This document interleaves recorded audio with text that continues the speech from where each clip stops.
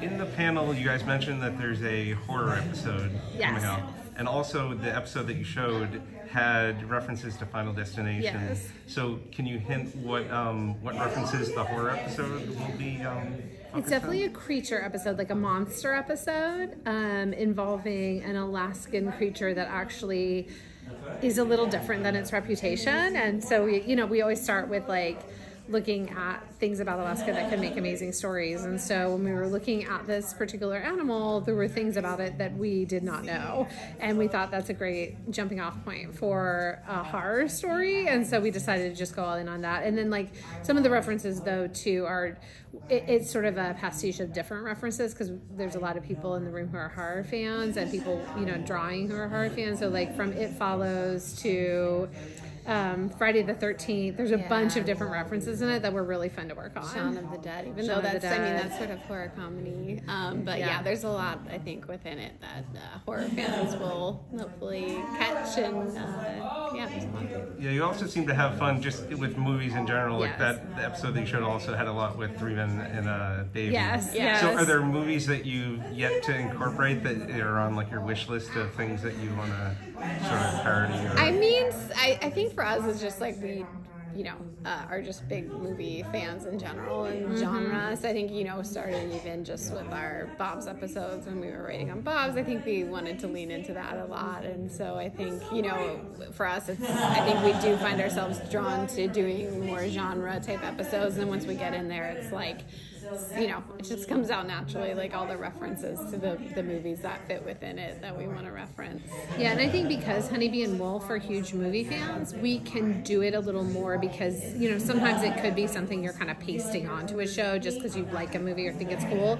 But because Honeybee and Wolf are so into movies, it comes about organically that they would refer to the movies or see the parallels between something going on in Lone Moose and a movie that they love. So it's been fun to incorporate that because it is like in the age of streaming, like you can see, like it, it used to be, you know, whatever was at your like video store or whatever. I'm old, but like I love now that I can just find the most obscure stuff. It's got to be on some streaming service somewhere, and so I feel like your all of our movie knowledge is like higher than it used to be. So it's fun to be able to have that background to like exploit it a little bit on the show. Yeah. Now, in um, in most animated shows, the, the characters never age or really change. It's like a reset with each episode. Yeah. Here, we're actually seeing the characters grow over time. So, what was the decision to do that, and why do you prefer to be able to to change over time? I mean, I think it's that thing where we're sort of we're doing hopefully a little bit of both, where our, our characters aren't truly aging or or making you know huge changes, but I think when you know you hope or you start working on a show and you want it to sort of feel like the characters evolve over time there's little ways to sort of push them out a little bit you know each episode or each season and kind of um, giving ourselves um, the ability to do that's been really you know fun. And i think i think for people that you know are fans of those shows too it's nice for them to sort of feel like they are seeing change in the character a little bit over time much like you know real people in your life. You sort of they grow and and uh, change a little bit Yeah, we always stay in like sort of an et- what we call an eternal present. You know, we never actually age the characters, but you wouldn't. I think you'd lose people if you had a show on for you know what's now been for us five years, for Bob's for fifteen years, without seeing growth and change in the characters. I think people would maybe tune out of it. You know. Yeah. Yeah.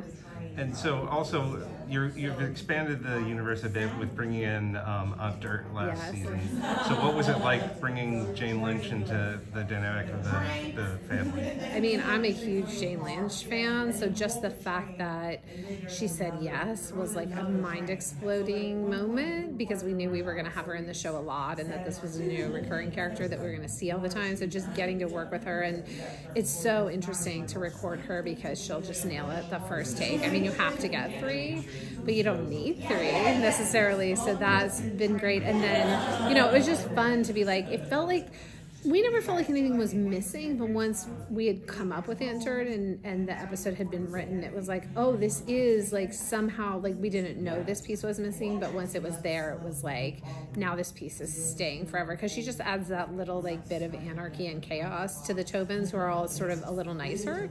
That is fun and and also gets other people drifting in her direction, and I think you'll see a bit of that in season five of people like getting in cahoots with Aunt Dirt in a really fun way. And now I forgot the question, and I'm just rambling.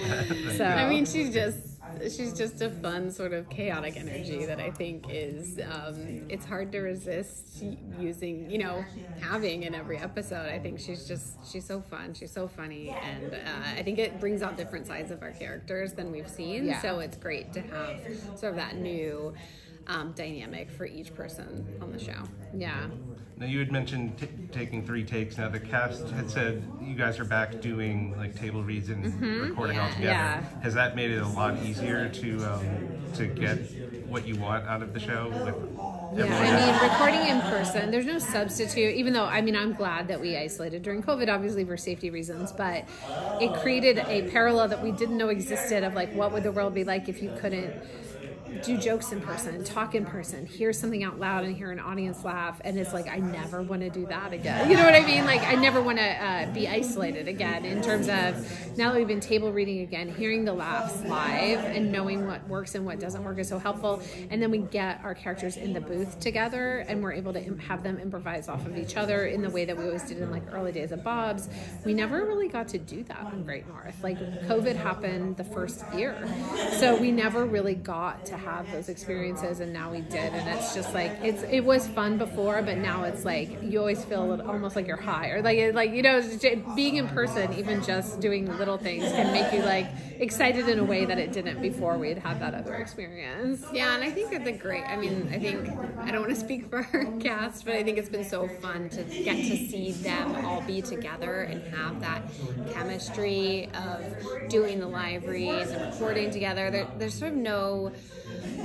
There's no way to sort of replicate that unless it's really happening, and it just adds this energy and dynamic into the records and the performances that it, it's you can't you can't tell exactly when it's not there, but when it's there, you can really feel it. And so I think it's just added that energy back into the show, and it's been really great. Now in your panel, you had mentioned that there's some big loss coming. Uh, coming. Is there anything you can hit, talk about or hint about at other things that are happening in that we can expect in season five? I mean, again, like there's a big change. There's a big change, and yes, something or someone is lost, uh, but I think in a fun way that moves the show forward. Yeah, and then there's also some bigger changes happening for some of our characters. I think Ham uh, gets a little bit of a shakeup this season. Um, I think we get to learn a lot more about Aunt Dirt, her past, um, sort of how she interacts with the family. We get to see more of that dynamic. Um, and you know i think sort of continuing uh, a, little bit more of sort of beef's journey from season four kind of continuing with that into five of him adjusting to you know having a romantic life and all of that so there's a lot i think there's Yeah. some big things coming And there's also an absolutely bonkers Wolf episode with Will Forte where he goes on a local Alaskan reality show that's sort of like alone. And I don't want to say more of where it goes from there, but it's Will Forte doing like, I mean, almost like a one man show episode that is fully bonkers. We really wanted to show it here, but because of the writer's strike, we're on a different schedule. So it was only at animatic stage. It hadn't been, like, the audio's not in and it hasn't been colored yet. We haven't got, taken it to color, so we didn't get to show it. But it's just a great, like, Will Forte is, like, so incredible and has so much energy. And, like, there's, it's just, like, beginning to end both in a really fun way. So we're really excited about that one, too.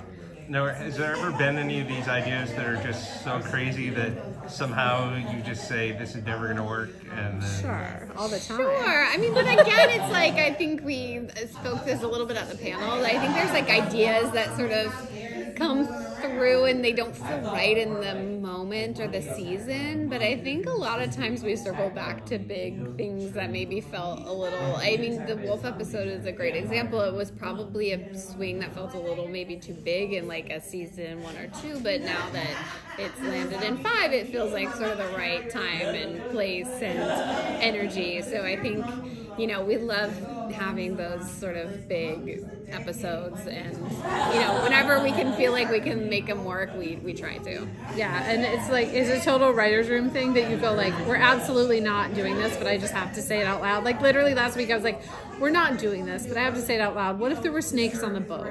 And it's like, we're absolutely not doing that. I'm one of the fucking showrunners. We're not doing that.